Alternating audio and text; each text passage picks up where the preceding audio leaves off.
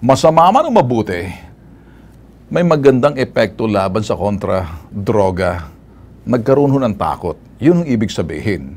Ngayon, kung kumunti yung mga drug addicts, eh siguro natapyasan dahil sa takot or na-overdose.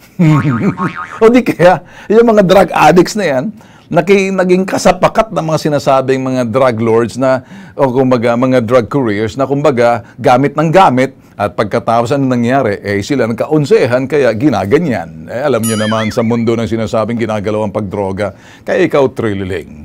Sabi niya, libo-libo ang pinatay ninyo na addict without due process and without giving the opportunity to be rehabilitated. Galing mo talaga. Di ba natural lang mababawasan ng addict? So what are you celebrating, Mr. Panelo? Sabi niya, the ruthless, uh, ruthlessness of your boss. Nagsalita naman tong si Kudeta. Parang ang galing mo magsalita. Eh sinasabi na nga ng survey, bakit mo sinusopla yung sinasabing damdamin pananaw ng mga Pilipino na kung kumunti, 66% na 66 SWS yan ha. Pag ang SWS naglabas ng sinasabing survey nila na hindi pabor sa inyo, ngak-ngak agad kayo. Pag pumabor sa inyo, abay, hallelujah! Kaya kung, kung kumunti man yan, then sana man kadahilanan, may naging resulta. Ngayon kung sasabihin nyo, walang due process, maaaring totoo. Pero yung iba dyan, dahil yung iba kasi kasalukuyan, eh talagang nililinis din yan.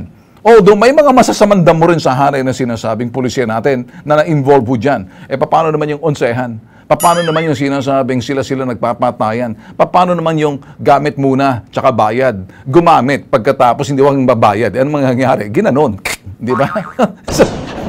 Ala, alam niyo nung araw, may na-discover ho kami sa larangan ho ng mga drug operations na kami ho sa Bitag nung araw.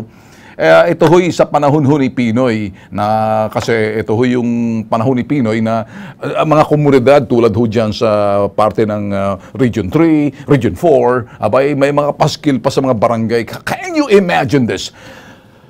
Gamit muna bago bayad.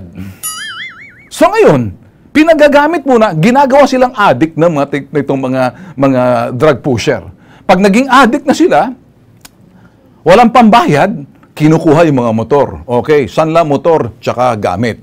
Pag wala nang makukuha, eh anong kinukuha? Buhay nung sinasabing gumagamit na hindi makapagbayad kasi gumamit muna bago bayad. Kaya, trililing. Did you get it?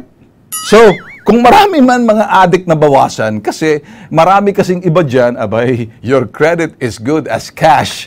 Kumbaga, cash is king. When you don't have any cash, and you become a slave because you're no longer a king, and then slave ka na sa droga, tortado ng utak mo, lakas mong gumamit na ngayon, pagkatapos hindi ka ma-rehabilitate kasi eh, lalabas ka, papasok ulit kasi ah, nandoon lagi sa komunidad, eh syempre, dumami yung sinasabing gamit muna bago bayad, kaya naman, ayun ang nangyayari, nabawasan, nalagasan.